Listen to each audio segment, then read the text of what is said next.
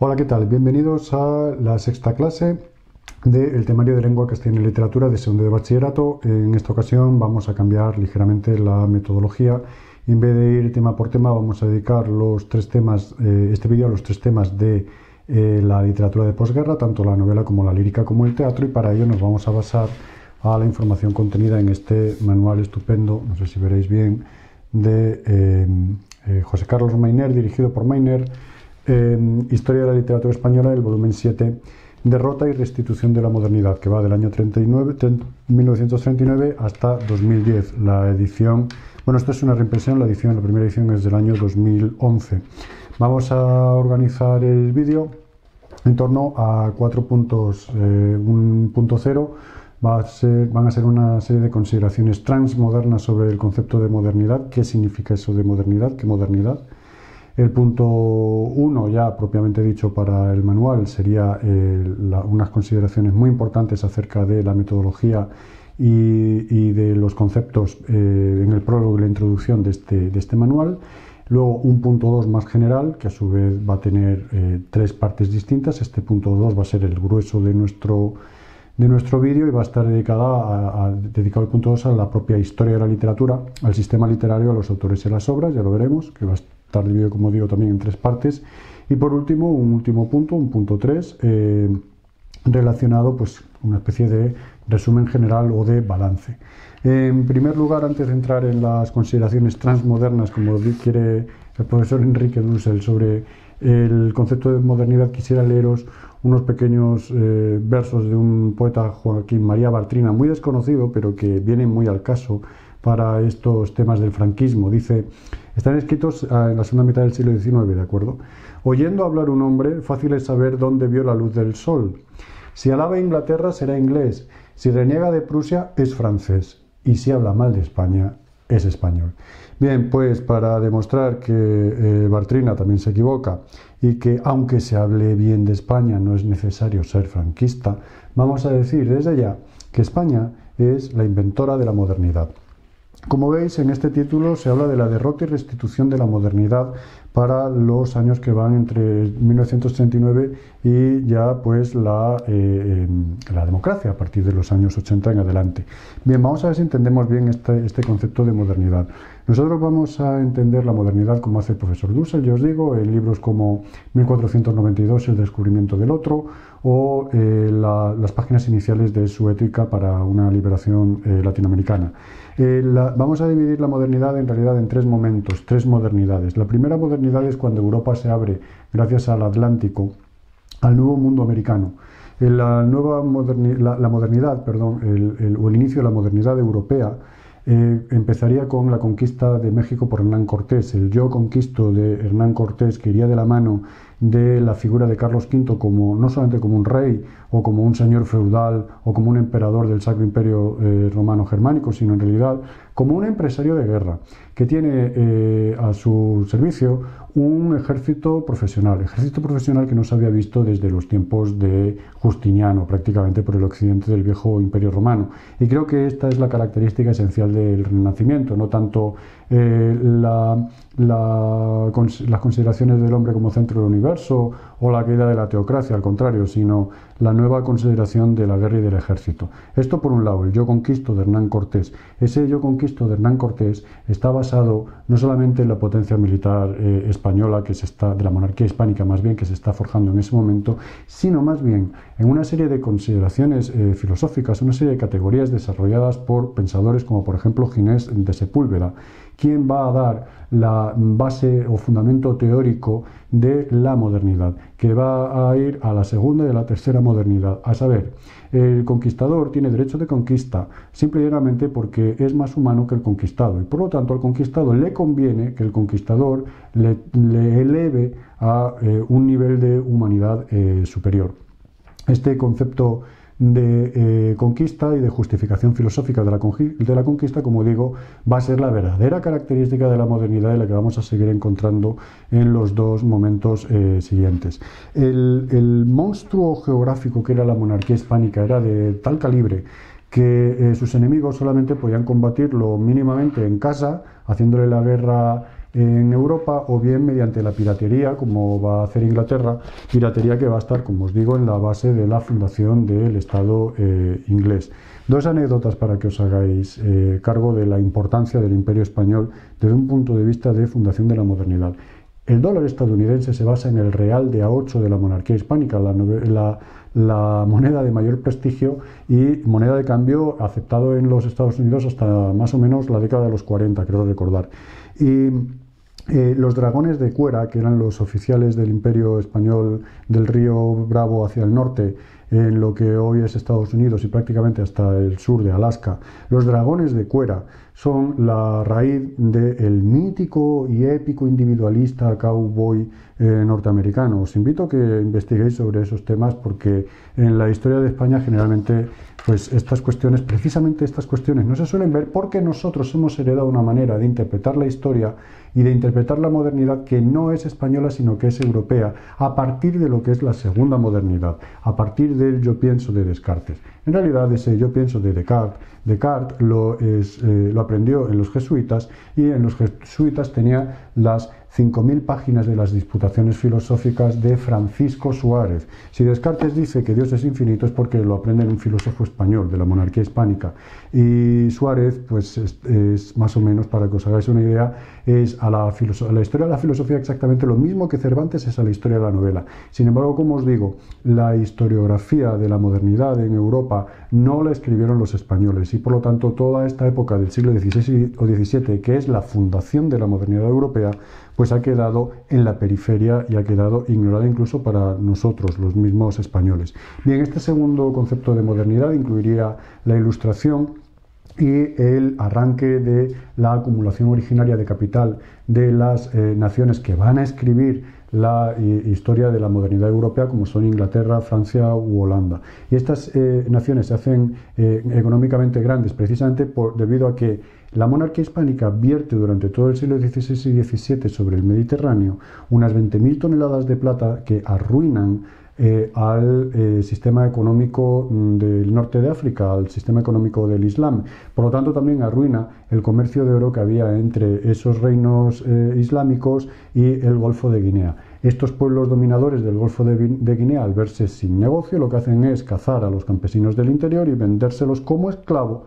como eh, mano de obra esclava a estas naciones que inician así su, como digo, eh, eh, acumulación originaria. Entonces, junto a, este, a, esta pujanza de las nuevas potencias, sobre todo a las guerras napoleónicas que van a terminar ya definitivamente con el poderío, el poderío naval de la monarquía hispánica, se suma sobre todo, a mi juicio, más que la Revolución Francesa, la absoluta libertad que el individuo moderno va a encontrar en los Estados Unidos. En las recién independizadas colonias del norte de América, de Inglaterra, lo que va a ser Estados Unidos de América, USA, ¿no? Eh, el eh, individuo moderno, al contrario de lo que va a pasar en Europa, no se va a encontrar con ninguna traba para su absoluto desarrollo. Entonces, ni una iglesia poderosísima, ni todavía los resabios de una estructura aristocrática feudal muy potente existen en Norteamérica. Por lo tanto, ese va a ser, creo yo, una de las características esenciales de esta segunda modernidad. Entonces, a partir del siglo XIX, España sufre una especie de eh, condena o de venganza historiográfica y lo moderno será olvidarse de las raíces hispánicas de la modernidad. Y finalmente la tercera modernidad, que es de la que habla el libro en su título, Derrota y restitución de la modernidad, pues iría desde 1914, la guerra del 14, hasta la globalización, hasta el momento presente. Eh, es importante tener en cuenta que Inglaterra es destronada y que hay dos ejes en torno a los que se articula la importancia política y económica. El primer eje, el eje atlántico, que se corresponde con la Guerra Fría, pues la península ibérica es un portaaviones abierto a dos mares y por lo tanto su control estratégicamente es muy importante. De hecho, Franco va a jugar esa baza eh, la, va a disfrazar de anticomunismo y de ser la espada más limpia de Occidente y cosas así, ¿no? Pero en realidad es por lo que os digo, porque tiene una posición geoestratégica que no se le puede eh, dar a los soviéticos y de su importancia, pero luego a partir de los años 90 el eje gira hacia el Pacífico, China-Estados Unidos, con lo cual Europa vuelve otra vez a su situación de eh, periferia. Y se vuelven a repetir los mismos criterios de Ginés de Sepúlveda, del mismo modo que los esclavos estaban bien esclavizados porque el europeo les traía la civilización, pues del mismo modo el amo o viejo dominador norteamericano ya está amenazando con tirar de las orejas en forma de... Eh, eh, castigos económicos a aquellas empresas que están participando, tienen pensado participar en el gasoducto del Báltico que uniría directamente Rusia con Alemania. Ocurre que eh, en esta última etapa de la modernidad, creo que precisamente la modernidad europea se está fragmentando y de ahí que precisamente se estén buscando redefiniciones a esas relaciones como la que os acabo de decir a día de hoy entre Rusia y Alemania, lo cual quiere decir entre la Unión Europea y China en el fondo. ¿no? Bien, hasta aquí las tres modernidades. Hablando directamente ya de lo que más nos toca a nosotros, que es la época del franquismo, Franco, el general Franco, pertenece, antes de convertirse en el dictador totalitario que luego fue durante 40 años, pues pertenece a una manera de ver el mundo que es el tradicionalismo. Sánchez Ferlosio, que estudiaremos a continuación, hace una diferencia muy importante entre el hombre tradicional y el hombre tradicionalista, que no son lo mismo. El hombre tradicionalista fetichiza o absolutiza un par de imágenes un par de conceptos a partir de los cuales interpreta toda su visión del mundo. Entonces el tradicionalismo del general Franco, el tradicionalismo al que pertenece el general Franco, quiero decir, lo que hace es que reniega de la segunda y la tercera modernidad y de la primera modernidad del imperio español se queda simplemente con lo que el mejor le viene para justificar una dictadura pues típica del siglo XX apoyada en la y del XIX apoyada en la espada y en la, y en la cruz. ¿Qué ocurre? Que entonces vamos a tener que el franquismo se va a basar en dos grandes, eh, eh, digamos, mm, fundamentos. Primero, en una imposición y en un segundo momento en una impostura. La imposición va a ser una imposición eh, política basada en la fuerza coercitiva, militar, policial y censora. Ya está, eso él domina ese, ese aspecto de la realidad y entonces impone su dominio tal cual. Pero luego va a haber una impostura, porque su hegemonía sobre el discurso cultural, que es de lo que va este, este tema, su hegemonía sobre el discurso cultural del el tradicionalismo español se va a basar en esa impostura, a saber, él no renuncia de la guerra de exterminio, de la guerra total propia de la tercera modernidad, ni tampoco va a renunciar de los flujos y técnicas capitalistas del de, eh, trasfase de capitales financieros propia de la segunda modernidad, de la segunda mitad del siglo XIX. Va a renunciar lo que le conviene desde un punto de vista eh, puramente eh, egoísta para su propio mantenimiento. Entonces, esta imposición eh, va a durar hasta el final eh, del franquismo y, vendrá con la democracia. Ya veríamos a ver qué pasa con esa manera de ver el mundo, porque no es que llegue después el reino de los cielos, ni mucho menos. Hay una continuidad eh, de estos esquemas en la democracia y eso está a día de hoy. ¿Y qué va a pasar con la impostura? Que es así, la va a perder en los años 50. La impostura de intentar dominar hegemónicamente el discurso cultural español, esa va a ser la primera gran batalla perdida del franquismo y es de lo que va eh, este, este, estos capítulos de este tema. Pasamos al propio prólogo y la introducción en el punto 1 ya, abandonando estas consideraciones transmodernas el punto uno de eh, este tocho estupendo, de verdad muy recomendable, escrito por Jordi Gracia y Domingo Ródenas. En el prólogo de, que escribe Mainer a la obra en general, a todos los volúmenes, creo que son nueve o diez volúmenes, pues Mainer habla de que la literatura tiene una naturaleza hojaldrada, que son finas capas de significado por donde pasa el aire de la historia y el resto residuo de otros textos y de otras literaturas que van influyendo a esas capas de, o como si fueran hojaldres, finos hojaldres, que creo que es una metáfora acertadísima para eh, acercarnos a, qué es eso de la, literatura. Por tanto, dice Mainer que es, eh, el análisis tiene que ser eminentemente pluriforme, el estudio de la literatura es, pluriforme, dice, y por lo tanto eh, la hace un objeto esencialmente histórico, hay que ver el desarrollo histórico de esas formas. Y él se basa mucho o intenta basarse siempre en las consideraciones puramente textuales. Aquí sí que se podría criticar algo porque siempre vamos a tener que, eh, si, queremos ser históricos, siempre vamos a tener que atender más o menos al contexto. Pero él se está refiriendo a otras cuestiones que no vienen aquí al caso y, ahí lo dejamos. La naturaleza hojaldrada del de el, eh, hecho literario. Ese hecho literario es pluriforme y por lo tanto histórico y se concreta en textos. Luego ya los propios responsables, Jordi Gracia y Domingo Ródenas, hablan de que en el volumen van a insistir en el concepto de convergencia intergeneracional. Eh, al contrario de estudiar la literatura a partir de generaciones, ellos estudian el hecho literario como la convergencia de distintas generaciones en el mismo momento histórico, generando por lo tanto sistemas literarios complejos que tienen una dinámica que es diversa. A saber, eh, esas direcciones históricas pueden ser progresivas o retroactivas, es decir, pueden ser muy vanguardistas o pueden ser eh, conservadoras, se pueden dar en paralelo, como vamos a ver también, o, en súbitos bucles o entrecruzamientos, ¿de acuerdo? Vamos a ver ejemplos de, todas estas cuestiones eh, eh, inmediatamente. Y en el caso concreto de la época de la posguerra y del segundo franquismo, que veremos en el siguiente vídeo, pues se atiende no solamente a la literatura escrita en España, sino también a la generada por los eh, exiliados, a la propia literatura escrita en español, pero no por españoles en, Latinoamérica, y luego también pues la recepción de las distintas literaturas universales, de la literatura universal a partir sobre todo de las editoriales que van a tener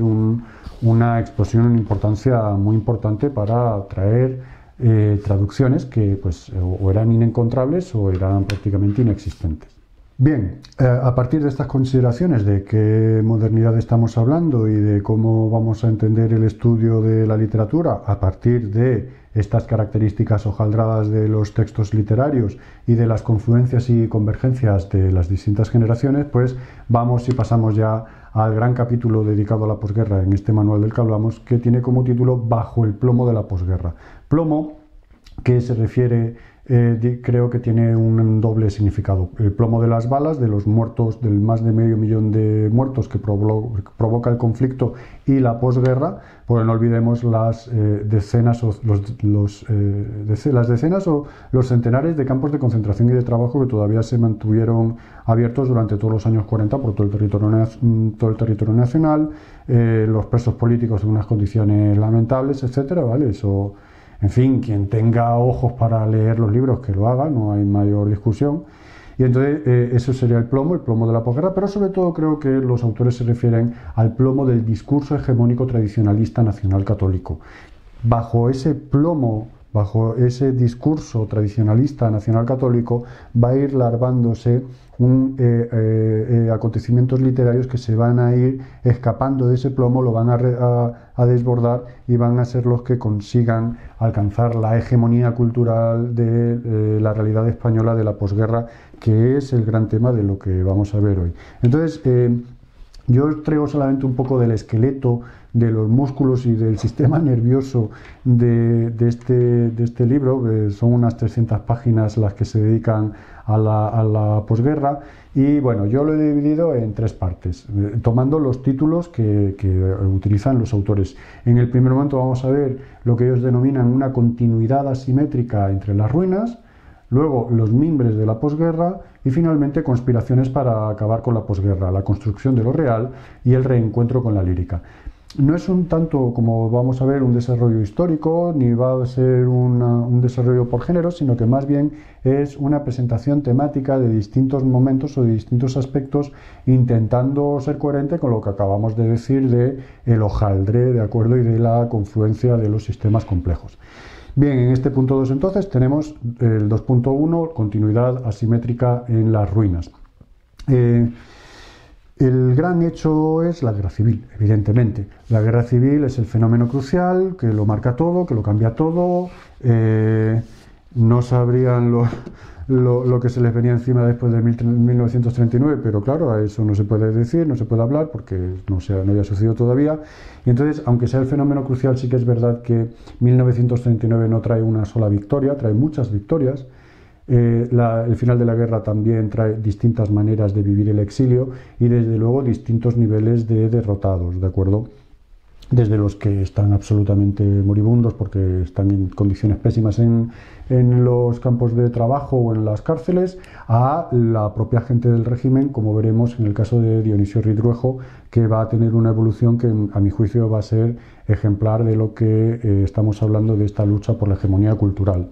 Bien, la herencia de la guerra deja dos aspectos fundamentales, que es la Iglesia y las depuraciones, los procesos de depuración. El poder que tuvo la Iglesia católica desde el principio es una cosa totalmente extraña, no solamente para las democracias eh, burguesas del momento, sino incluso para, o sobre todo para los fascismos, porque no hay que olvidar que fascismos, vaya, para el fascismo italiano y el nazismo alemán, que a mí no me gusta eh, hablar de fascismo más allá del fascismo italiano, ¿de acuerdo? Creo que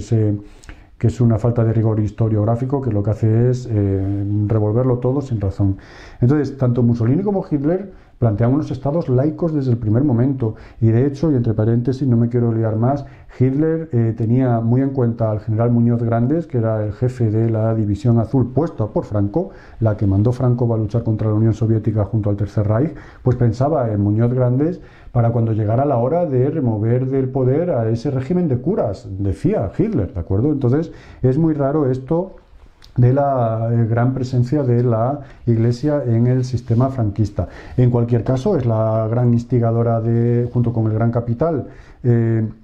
de Juan Marc y otros, pues la Iglesia Católica, la jerarquía se entiende, ¿de acuerdo? Los obispos son, eh, y los cardenales son los grandes instigadores de la sublevación y desde el minuto uno, desde el año 36, en cuanto empieza a haber un cierto aparato del Estado sublevado, eh, pues eh, asume el control cultural, el educativo y el censor. Eh, de hecho, de todas las familias del franquismo, la Iglesia ha sido siempre la más incombustible y la más resistente que ha sobrevivido a todas las crisis que tuvo el régimen y ello se debe a que era una fuente sagrada de legitimación del propio régimen, ¿de acuerdo? Por otra parte, los procesos de depuración. hay una obsesión por eh, los nombramientos académicos que se efectuaron a partir del año 31, a saber, a partir de la República. Eh,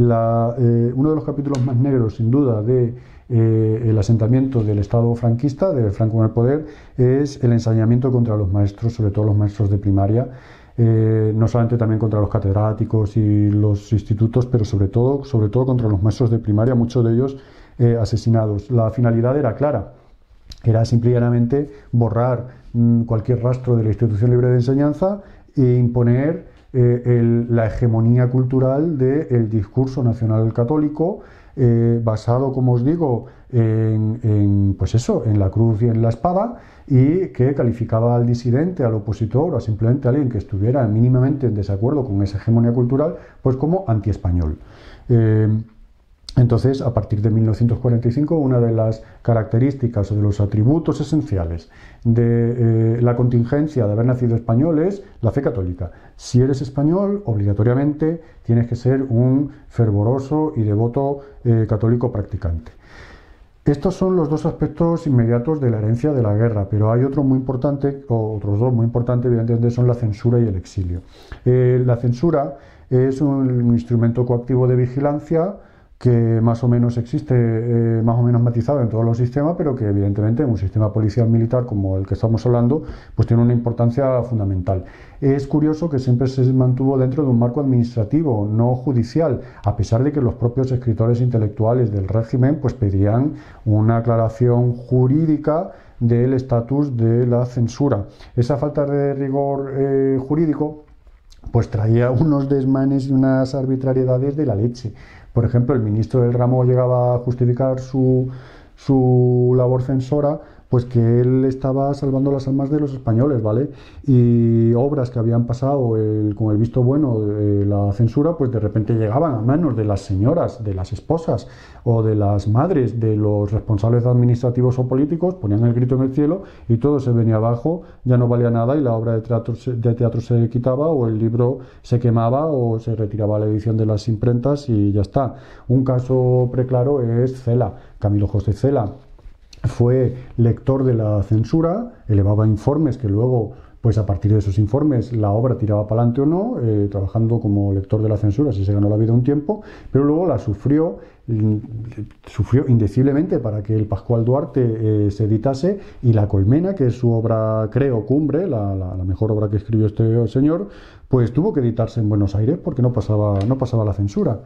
Y como último momento así de esta continuidad asimétrica de la realidad cultural eh, en España, pues es el exilio. Porque si una continuidad hay, la del exilio, es decir, todos o la inmensa mayoría de los intelectuales de valor eh, que eh, tenía España en el año 1936 se van. O, o, los matan o se callan. Entonces, la continuidad cultural sucede principalmente en un primer momento en el exilio. Durante los primeros años de la posguerra hay ahí un terremoto en cuanto a la hegemonía cultural de la que hablamos, tremendo, porque los eh, principales autores y eh, los principales representantes de la cultura española viven en el exilio en un momento como eh, refugiados de guerra, cuando eso ya se ve que va fatal, pues abandonan los campos franceses, los campos de concentración franceses, y se embarcan muchos de ellos principalmente a México, pero también a Chile. Entonces, los refugiados son la línea de fuerza que incardina la cultura española a la cultura europea, a lo que hemos llamado nosotros tercera modernidad. Una vez que ya se dan cuenta de que lo de Franco va para largo, pues ya no se hablará de refugiados de guerra y entre las muchas denominaciones que tenga el exilio, a mí me gusta hablar eh, como hace Gauss, el profesor de filosofía, pues de eh, transterrados, transterrados, es decir, atesoradores de su propia experiencia previa de la guerra, eh, y reasentados con nuevas vidas en América. Entonces esto va a ser, como os digo, una mutilación horrible de la cultura española en aras de un tradicionalismo esencialista nacional católico que tilda a toda esta gente como anti-español, ¿de acuerdo? Eh, ahí en América pues va a haber todo un... Eh, ejercicio editorial tremendo, muy importante, pues van a aparecer el Fondo de Cultura Económico, eh, la editorial Losada o Sudamericana, Pleamar, donde Alberti le va a publicar a Juan Ramón, y todos esos pues van a dar espacio a una cultura literaria pues estupenda y sobreabundante. Eh, los autores de este primer momento de continuidad asimétrica, pues el, el más principal, que es Juan Ramón, que en esta época está desde agosto del 36, está en Puerto Rico, pues va, a alcanzar el nivel máximo de excelencia literaria con obras como eh, La Estación Total, eh, Espacio o Lírica de una Atlántida. Bien, hasta ahí porque, como digo, vamos a hacer simplemente un repaso general. Dentro de España, pues dos poetas más jóvenes, pero que pertenecen al 27, como veis, estamos aplicando lo que decíamos de la convergencia intergeneracional. Estamos hablando de la poesía española de los años 40, pero no estamos hablando de los poetas típicos del temario del año 40, pero que sin embargo tiene una importancia tremenda, ¿de acuerdo? Como decimos Juan Ramón, el primero, el primero, y luego eh, los hijos de la ira, hijos de la ira de Damaso Alonso y Sombra del Paraíso de Vicente Alisandre, son los dos puntales de la poesía dentro de España publicados en el año 44. Sobre todo el libro de Damaso Alonso, Hijos de la ira, que eh, presenta una experiencia personal angustiosa ligado o como imagen del estado comatoso de la sociedad española de ese momento, ¿vale? Eh, va a tener una influencia decisiva por la eh, estructura y la libertad de verso, de versificación, es metro libre, versos libres, el léxico coloquial arrebatado, las imágenes eh, expresionistas, el tono imprecatorio, en fin, ya veremos con ejemplos como Insomnio, Mujer con Alcuza de qué, de qué hablamos. Luego, junto a este tipo de poesía, como en paralelo, como decíamos antes, eh, si recordáis hablábamos de las confluencias eh, en la convergencia intergeneracional, pues que había eh, gente progresiva y retroactiva y que iban en paralelo. Pues pues como vemos, Juan Ramón, a pesar de ser viejo, y Damas Alonso, a pesar de ser un medio derrotado, no tanto, pero bueno, en fin, mm, angustiado, pues vive en paralelo, se vive una poesía de la victoria con Luis Rosales, Leopoldo Panero o Juan García Nieto, que en un primer momento en la revista Garcilaso, imitando y fetichizando a un Garcilaso imperial y totalmente inexistente, pues hacen esta poesía de discurso hegemónico de los sonetos, muy esteticista y alejada completamente de la realidad que ya veremos que irá evolucionando. Junto a esto, los, derrotados dentro de la derrota, que son los derrotados que no pueden escaparse, como José Luis Cano o Ramón de García Sol, y otra gente digna de nota en el exilio, pues como por ejemplo León Felipe, que muy influido por la poesía de Walt Whitman, y eh, Gil Albert, que luego va a volver. Eh, y va a hacer una poesía también muy interesante de apego a la naturaleza, en las leyes naturales, muy, chula. En cuanto a la novela, la gran novela, el hecho novelístico de este momento de continuidad asimétrica entre las ruinas es eh, eh, La familia de Pascual Duarte, que es una de Camilo José Cela, que es una forma agria de eh, realismo subjetivo que va a tener una trascendencia brutal precisamente por lo que tiene de esta, esta presentación naturalista de esta confesión de un asesino brutal que antes de ser ejecutado pues le dice a uno que lo, que lo anote y su historia, su, su, justificación de vida y tiene una rara mezcla entre la crueldad y la, y la ternura. Luego la novela Nada de Carmen Laforet, que fue un éxito literario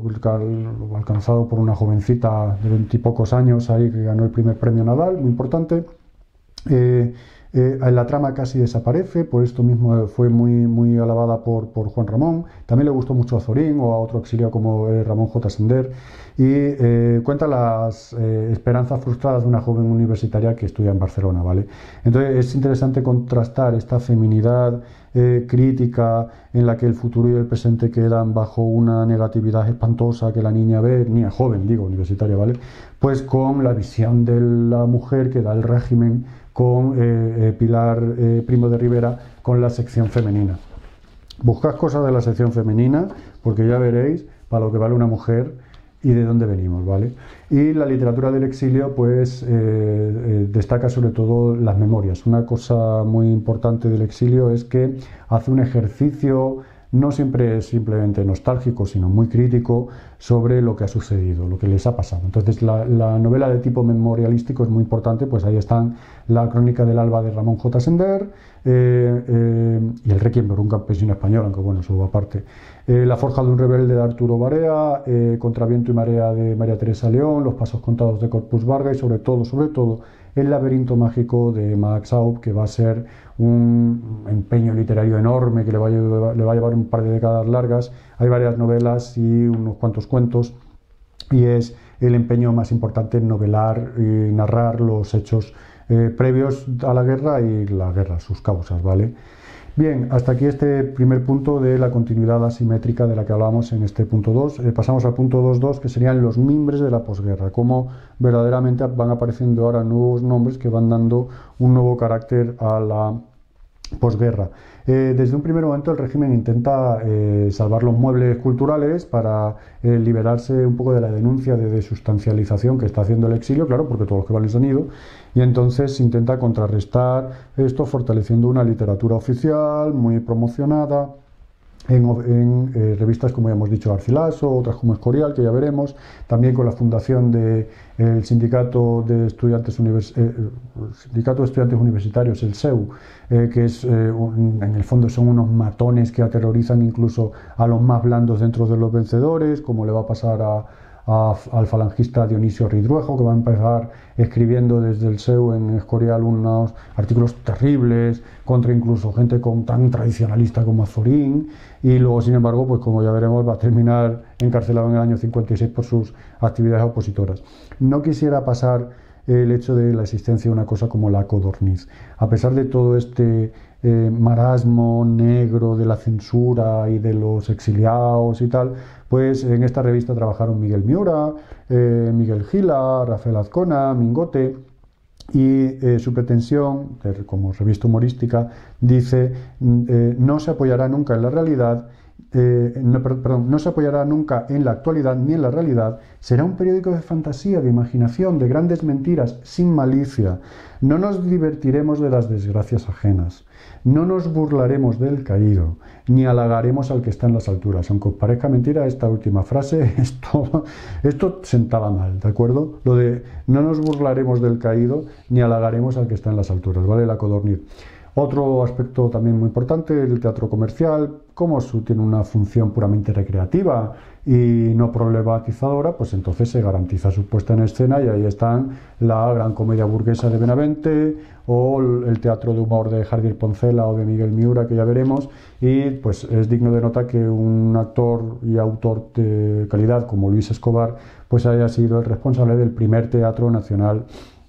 en la España de Franco. En estos años 40 hay un gran contraste entre la literatura de la victoria, como decimos, y la de los vencidos, que es algo así como la revista Garcilaso y la revista Adonais. En Garcilaso, todos estos, pues Luis Rosales y compañía, que hemos visto, Panero y, García Nieto y otros, pues van a cantar su exaltación nacionalista de la patria, el imperio, la cruzada, la raza y todas estas cosas, con las abstracciones estas del hombre, la familia, la fe y en torno a la revista Escorial también va a florecer toda una ensayística del bando ganador, pues Eugeni Dors, eh, Antonio Tobar, Lain Entralgo, Marías, eh, ¿quién más? País se me olvida, eh, José Luis Alanguren, pero esta gente va a seguir evolucionando y un, señor, por ejemplo, como Xavier Zubiri, que es un filósofo estupendo y de primera categoría, pues con su libro Naturaleza, Hombre, Dios, creo que se titula así,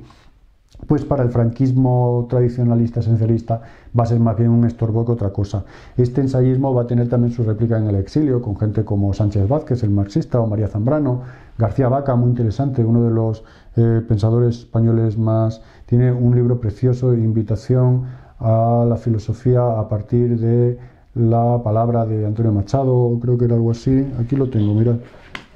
Este, este libro es maravilloso. Este. Invitación a filosofar según un espíritu y letra de Antonio Machado, de Juan David García Vaca, maravilloso. Eh, otros, Eduardo Nicol, otros eh, Américo Castro o Sánchez Albornoz que están fuera. Eduardo Nicol muy importante porque les, tira las orejas a Américo Castro, a Sánchez Albornoz que andan a vueltas con que, es ser español, donde está la esencia de ser español, es que hablar de esencia de un país es inmediatamente eh, meterte en un nacionalismo excluyente que, bueno, pues tirará por donde tire, pero en estos años ya vimos por dónde fue. Em, entonces la poesía de la victoria en estos años eh, va a ser cada vez menos de la victoria y eh, se va a ver la pobreza de un sistema que ya no le satisface a los propios intelectuales dentro del propio sistema, ya no va a ser estimulante, van a denunciar la falsa religiosidad pública y entonces en el año 56 Dionisio Ridruejo va a ser detenido porque eh, Franco en esos años pierde la universidad, sin más la universidad, es decir, los hijos de la victoria, ¿vale? A la universidad no iban los hijos de los rojos, ni, en fin. Eh, junto al desengaño ideológico del falangismo, pues los derrotados comenzaban una nueva y pujante literatura, como por ejemplo Ángel Fieramente Humano de Blas de Otero o La historia de una escalera de Antonio Boro Vallejo, que van a empezar a dar la guerra por la hegemonía cultural que, como digo, pues van a terminar ganando. En, estas, en este segundo momento de los miembros de la posguerra, eh, quedaos con los nombres de Gloria Fuertes, eh, muy importante su concepto de la oralidad en la poesía, maravillosa autora de literatura para niños. Tenéis un,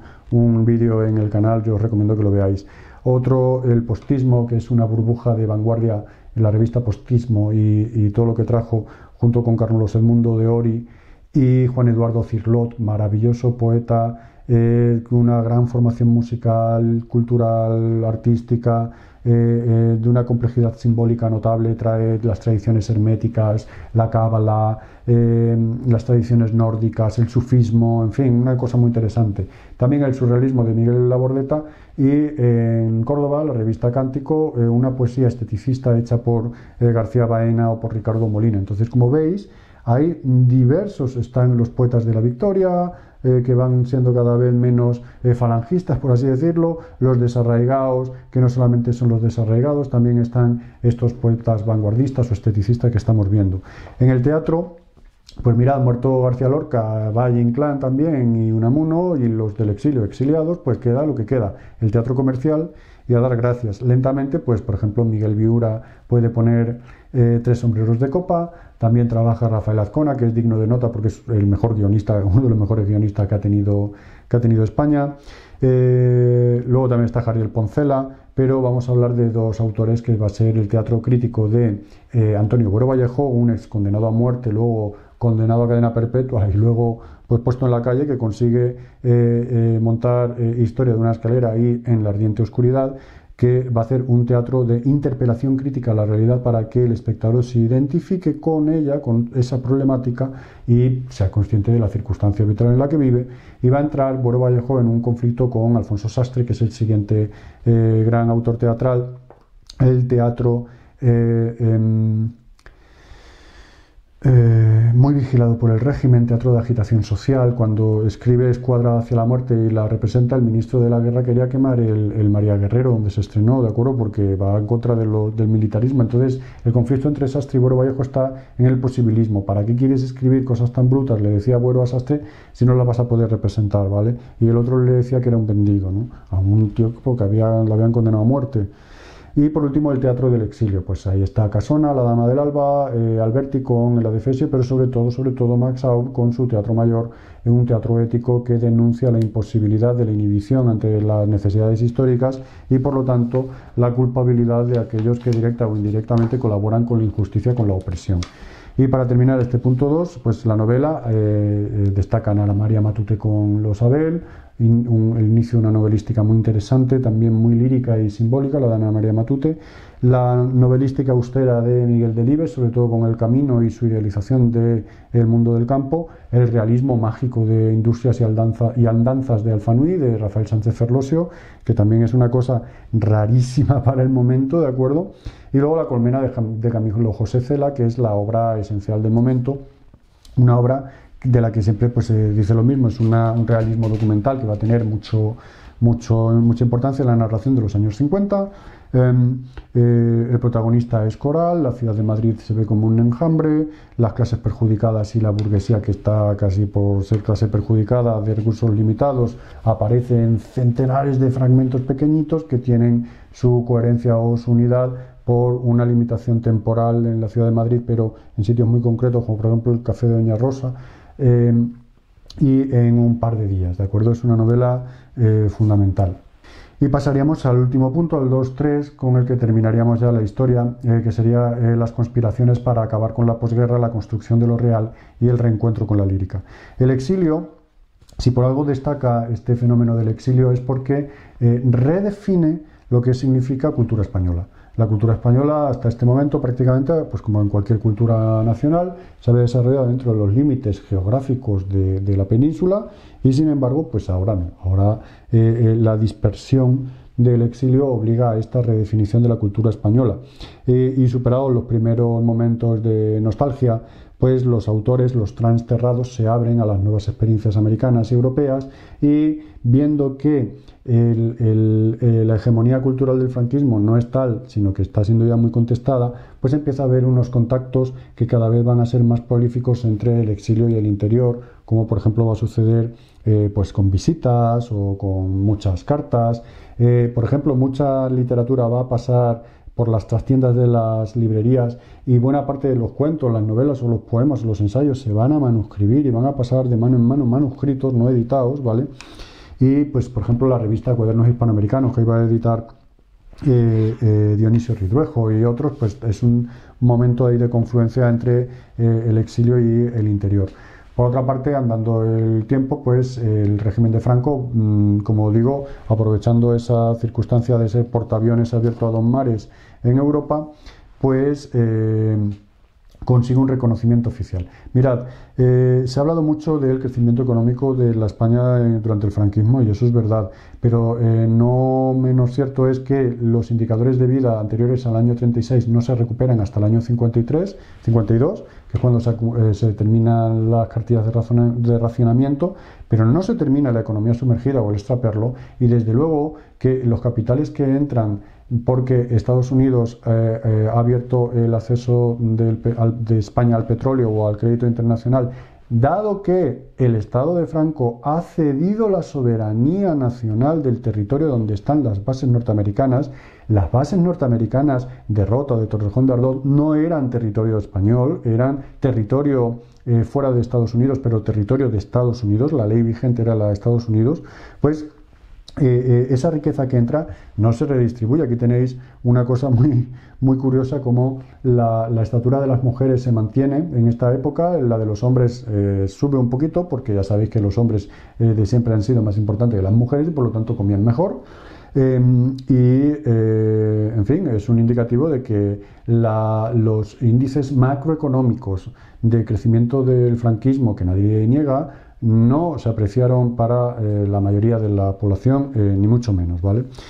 En estos años, eh, volviendo a lo nuestro, triunfa la estética del realismo. La estética del realismo que se convierte prácticamente en una ética o una estética de la resistencia. Y sobre todo se debe, yo creo, estoy muy de acuerdo con lo que dice en el manual, a que había que depurar la prosa de la altisonancia retórica del régimen. Pensad, pensad por ejemplo, eh, si veis, ponéis en el YouTube no, guion, do, nodo. Vais a ver cómo va a hablar el, tipo del nodo, ¿vale? O el, tronío triunfal y vanidoso de la iglesia. Eh, de la alta jerarquía eclesiástica. Entonces, limpiar el lenguaje, dice Martín Gaite, literalmente fue una búsqueda general, una medida de higiene, eh, de, higiene estética y que dice ella se intentará una actitud distinta, la del narrador testigo guiado por un afán de veracidad, comprometido simplemente con el rigor de su mirada que no siempre veía brillar la justicia. Entonces, eh, hay tres momentos muy importantes en este mm, final de los años 50, que sería el homenaje a Antonio Machado en el año 59, al que van a acudir numerosos intelectuales, escritores y artistas de, internacionales, no solamente españoles del interior o exiliados. Eh, las conversaciones de Formentor, eh, controladas por Cela, también van a ser ahí un cenáculo de intelectuales muy interesante que el régimen va a vigilar muy mucho y la aparición de la maravillosa biblioteca breve en Seis Barral que va a abrir ya pues la recuperación de la modernidad en los años 60 que será cosa del otro vídeo y ya va a abrir directamente estas tres cosas pues ya eh, eh, son como tres hitos en la vida cultural que marcan el inicio de una guerra abierta contra la autarquía cultural la intolerancia católica y la estrechez de miras del, régimen. ¿vale? En cuanto a los autores literarios, pues en la novela siempre se suele hablar de Juan Goitisolo con los campos de Níjar, entre visillos de Martín Gaite, los cuentos de Aldecoa, muy importante la cuentística de Aldecoa, ocho libros, escribió en una vida truncada por un, desgraciadamente un accidente de tráfico, tenía una concepción ética muy importante y todos sus eh, eh, personajes aparecen oprimidos no solamente desde un punto de vista socioeconómico, sino también eh, al dar testimonio de lo que en realidad está pasando, pues esa opresión que no es solamente social, sino que también es eh, eh, incomunicación, soledad, miedo. Y luego, finalmente, pues la gran novela de este momento, que es la gran novela conductista de Sánchez Ferlosio, que es El Jarama, que, bueno, pues levanta acta de la inanidad y de la mansedumbre de buena parte de la juventud y como nota al pie, digo yo, parece que esto se dice como si la juventud franquista fuera eh, inane y mansa y ahora la juventud no lo fuera, ¿no? Yo creo que es una novela que tiene mucha más actualidad de la que eh, se suele pensar. Eh, y finalmente la poesía, bueno, pues lo social no fue solamente un argumento, sino que fue principalmente un sentimiento, ¿vale? Entonces, en estos años aparece un libro de Vicente Alexandre, que es el gran maestro de los poetas de la época, que es Historia del Corazón. Historia del Corazón que se publica en 1953, creo recordar, 54. Em, lo había escrito antes, pero por cosas de la guerra mundial lo dejó. Eh, en Historia del Corazón aparece el amor como un encuentro con el otro, con el otro solidario, no solitario, el amor como sentimiento solidario, ¿vale? Una cosa muy importante, un vínculo de comprensión fraterna eh, de la humanidad. Y esta idea de la comunicación entre los hombres va a ser muy importante en el desarrollo de la poesía de esta época. Y el impulso social pues, se va a concretar mucho, sobre todo en la poesía de Blas de Otero, que creo que es el autor eh, de esta época más importante que tiene, mm, sin renunciar a su compromiso social, pues eh, una exigencia estética muy elevada en libros sobre todo como Ancia, que es una mezcla de ángel fieramente humano y redoble de conciencia y otros poemas. Tal luego viene Gabriel Celaya, que a pesar de tener un arranque, digámoslo así, con eh, la poesía como instrumento para cambiar la sociedad, pues se da cuenta que los, lectores de poetas, de los poetas son muy pocos y que ese carácter social pues está muy limitado. Y finalmente el poeta José Hierro que introduce pues más o menos al hilo de lo que decía Martín Gaite, pues una poesía testimonial, no solamente social, sino de la propia experiencia del individuo que eh, poéticamente tiene un tratamiento como eh, alucinación. Seguirían, según el manual, otros nuevos autores como eh, Jaime Gil de Viedma, José Ángel Valente o Carlos Sagún, pero eso los estudiaremos en el siguiente vídeo, porque así lo marca el temario. Como conclusión, y ya el punto 3, el final, un balance general, pues como vemos los primeros 15 años del franquismo, aunque tuvieron una apariencia monótona, no es así. El propio régimen tiene una evolución desde eh, la presencia en el gobierno de, eh, filonazi Serrano Súñer en los años 40, luego los ministros de Falange, luego eh, sustituidos por los del Opus Dei, que ya veremos, lo, que a nosotros más nos interesa es la desafección de los principales intelectuales, mm, gente que empieza muy apegada al régimen, como Dionisio Ridruejo o Pedro Entralgo, que luego se arrepienten, ¿de acuerdo? Y que de hecho pueden incluso em, eh, ser un quebradero de cabeza. Luego vendrían los exiliados, como el bastión de la continuidad de la modernidad española en América, que redefinen el concepto de cultura española y que con su eh, eh, experiencia americana en estos 15 años de posguerra vienen a enriquecer este concepto de cultura española, ¿vale? Y eh, eh, pasando los años, pues en torno a los años 50, van a establecer, como hemos visto, una red de contacto muy prolífica entre la España transterrada y la península. Y finalmente los propios autores ajenos al régimen, que son los que van a terminar ganando la batalla de la hegemonía cultural, a pesar de vivir en la peor de las circunstancias, con una opresión policial militar tremenda y una censura eh, eh, intolerable, pues son los que verdaderamente van a dar el aire fértil que va a hacer que la literatura dentro de España pues continúe adelante lejos de las consideraciones tradicionalistas esencialistas del nacionalcatolicismo. Eh, entonces, para terminar sin más, pues como se ha visto, este carácter hojaldrado de la literatura de la que hablábamos antes se ven como las distintas generaciones eh, eh, mm, aparecen en un mismo sistema complejo de literatura, de mezcla de literatura y de historia, y este paisaje de la posguerra, como decíamos, para hablar bien de España sin ser franquista, pues evidentemente no hay que negar la terrible situación que se vivió en este país durante 15 años y hasta bien entrado la década de los 70 en muchos lugares, ¿de acuerdo? Pero eso no puede justificar abandonarnos a una visión pesimista que niegue la existencia de una riqueza estética que tiene un doble valor, el suyo propio y el haber sido realizada en estas circunstancias tan negras y tan adversas. Bueno, pues hasta aquí el vídeo de hoy. Espero que os haya gustado, dame un like si os ha gustado, compártelo por las redes sociales si crees que a alguien le puede interesar. Y nada, hasta aquí. Amor y poesía cada día. Adiós.